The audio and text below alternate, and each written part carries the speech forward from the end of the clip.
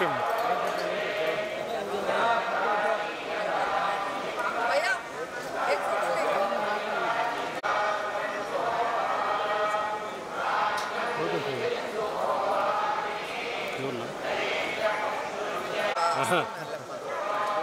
భయపడతారే మీరు తమ్ముని భయపెట్టేస్తున్నాను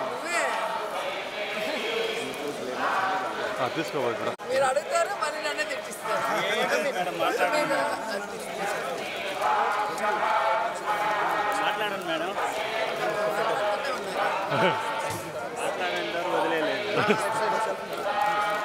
ఓకే.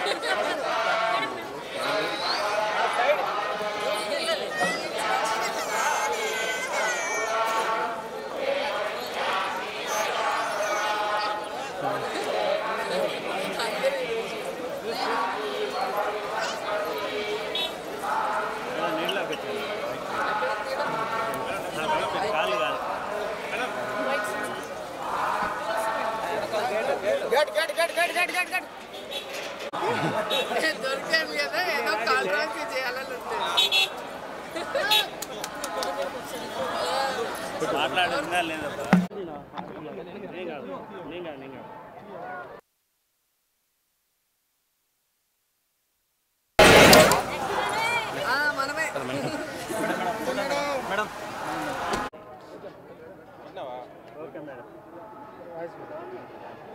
అట్లాగే మన కలియుగ దైవం వెంకటేశ్వర స్వామి దర్శనం చేసుకొని ఆశీస్సులు తీసుకొని వెళ్తున్నాను.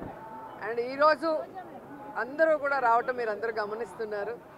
అండ్ జూన్ ఫోర్త్ రిజల్ట్స్ వస్తున్నాయి కాబట్టి ప్రజలు మీడియా అంతా కూడా చాలా ఆతృతగా ఎదురు చూస్తుంది.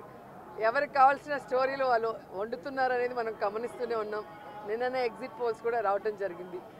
ఎవరు ఏం ఎగ్జిట్ పోల్స్ ఇచ్చినా ఎక్కడ ఏం డిస్కస్ చేసినా ఫైనల్గా జరిగేది సెకండ్ టైం జగనన్న సీఎం. ఎందుకంటే ఈ రాష్ట్ర ప్రజలు సంక్షేమానికి అభివృద్ధికి పట్టం కట్టడానికి రెడీగా ఉన్నారు కాబట్టే మహిళలు ముసలి వాళ్ళు పెద్ద ఎత్తున రాత్రి తొమ్మిదైనా కూడా ఎదురు చూసి ఓటింగ్ వేసి వెళ్ళటం మనం అందరం కూడా గమనించాం. సో మనకి స్వాతంత్రం వచ్చిన తర్వాత ఇంత పెద్ద ఎత్తున సంక్షేమాన్ని అభివృద్ధిని ప్రజల కోసం అందించిన ఏకైక ముఖ్యమంత్రి జగన్మోహన్ రెడ్డి గారు.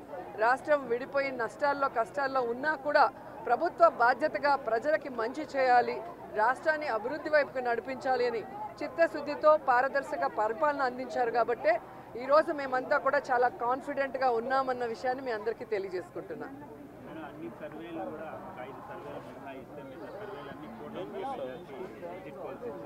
ఈరోజు కూటమి కొత్తగా పెట్టుకున్న కూటమి కాదు. ఆల్రెడీ టూ థౌజండ్ ఫోర్టీన్లో పెట్టుకుంది. అప్పుడైతే కొత్త కాంబినేషన్ కాబట్టి ప్రజలు ఎక్స్పెక్ట్ చేసి ఓట్లు వేశారు. కానీ రెండు వేల పద్నాలుగులో అక్కడ ఇక్కడ రెండు చోట్ల కూడా కూటమి అధికారంలోకి వచ్చినా కూడా ఈ రాష్ట్రాన్ని సర్వనాశనం చేసింది కానీ ఈ రాష్ట్రానికి ఇవ్వాల్సినది ఏమీ ఇవ్వలేదు ఏమీ అభివృద్ధి చేయలేదు అన్నది ఈ రాష్ట్ర ప్రజలు గమనించారు. కాబట్టే ఈరోజు ఆ కూటమికి క్రేజ్ లేదు అనేది మీకు తెలుసు మాకు తెలుసు.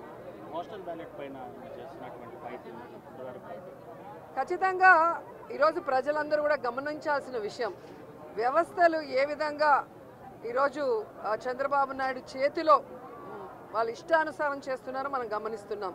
ఆ విషయాల్ని ఇష్టానుసారం ఎలక్షన్స్ అప్పుడు మార్చేయటం అలాగే కేసులు పెట్టించడం వైఎస్ఆర్సీపీ నాయకుల మీద. ఇప్పుడు దేశంలో ఎక్కడా లేనటువంటి విధంగా కొత్త కొత్త రూల్స్తో పోస్టల్ బ్యాలెట్ని ఏ విధంగా వాళ్ళకి అనుకూలంగా మార్చుకోవాలన్న ప్రయత్నం చేస్తున్నారో మనం గమనిస్తున్నాం.